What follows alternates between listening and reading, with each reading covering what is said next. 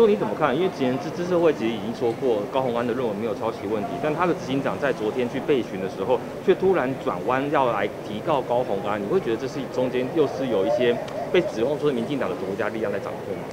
你不觉得这个跟慈济的事件一样吗？前面讲的话跟后面讲的话，可能中间就会有一些黑手会进去。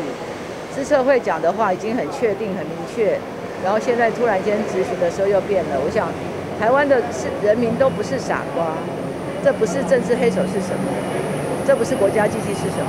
所以答案就是用各种方式去做人格毁灭式的卷战攻击，是一个执政党应该做的事吗？所以，这个这个论文事件事实已经非常清楚，连指导教授还有之前自社会的说法，一年多来都是一致的。突然间在今天变得不一样，我相信百姓也可以看得出来，他到底是谁把黑手伸了进去。